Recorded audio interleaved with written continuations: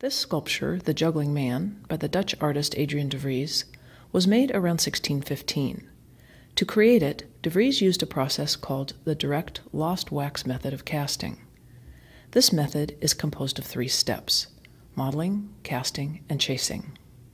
Bronzes made by this method are cast from the original model, which is made of a wax skin over a clay core. In this process, the wax skin is melted away, resulting in a unique, one of a kind bronze sculpture.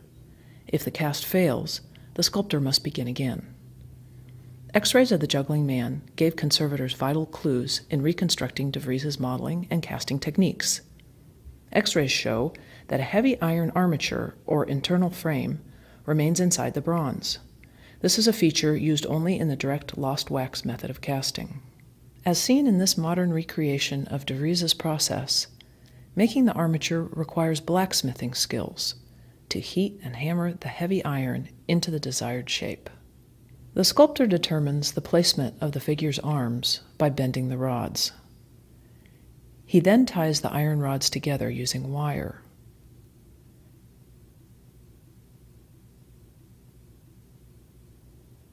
The artist continues to adjust the composition, securing the rods together until he is satisfied with the basic form.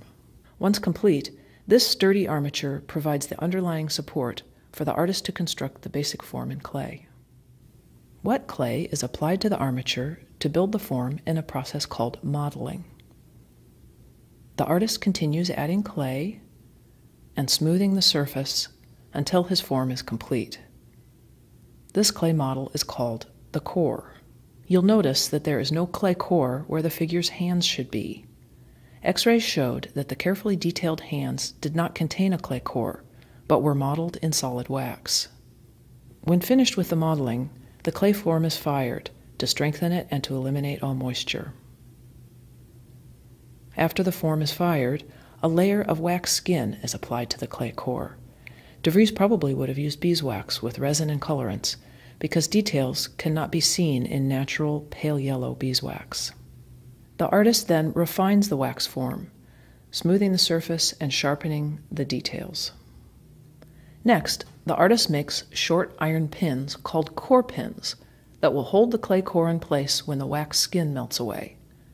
With a hammer and chisel, the artist cuts these pins into small lengths. Using a tool called an awl, the artist makes holes through the wax and into the clay core to accommodate the core pins. Finally, the artist carefully inserts the core pins through the wax and into the core. In the next step, the artist attaches to the model a network of wax rods called sprues. He uses hot metal tools as well as his hands. To further secure the sprues, the artist carefully adds a wax reinforcement. These sprues are connected to a wax pouring cup at the top. The model is now fully encased in its network of sprues.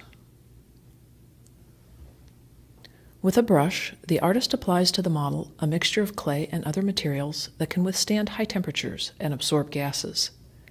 This outer mold is called the investment. Using his hands, the artist builds up the investment until the model is completely embedded in a solid mass. This cross section of the solid investment reveals the investment's various layers the armature, the inner clay core, the modeled wax layer, the core pins, the network of sprues, and the pouring cup. The investment is turned upside down, placed in an oven called a kiln, and heated.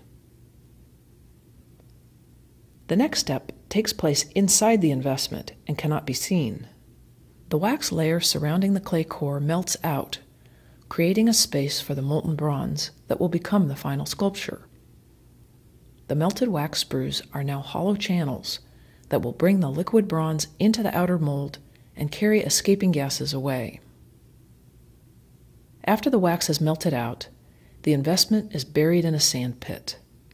This protects the foundry workers because if improperly prepared, the investment could explode when the hot molten bronze is poured.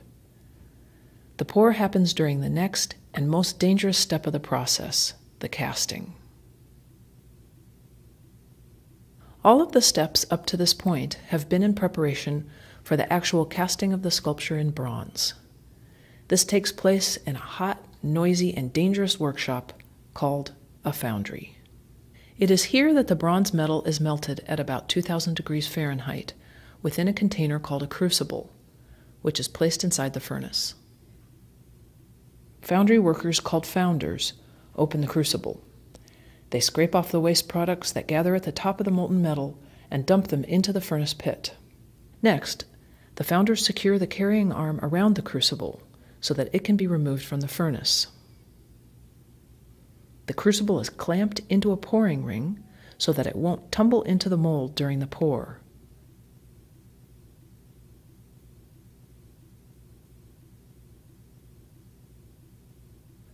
Watch the hand of the man on the right as he secures the clamp. The heat is so intense that his protective glove momentarily catches fire.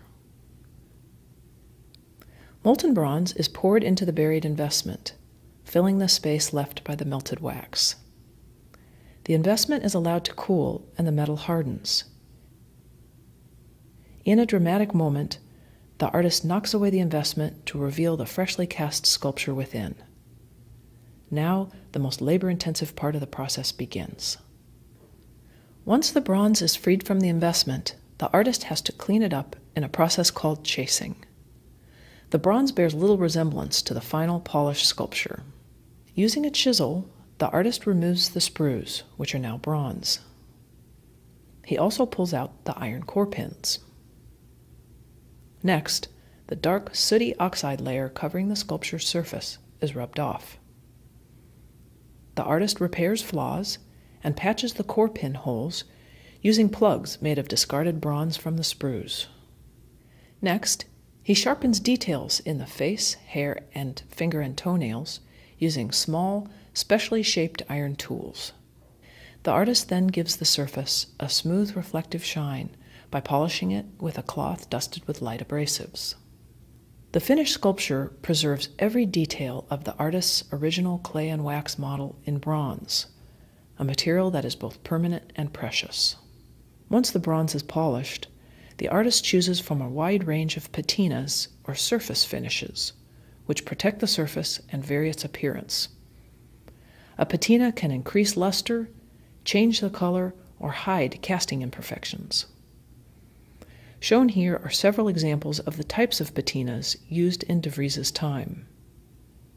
De Vries's original patina is gone. The juggling man stood for more than 50 years in an outside garden.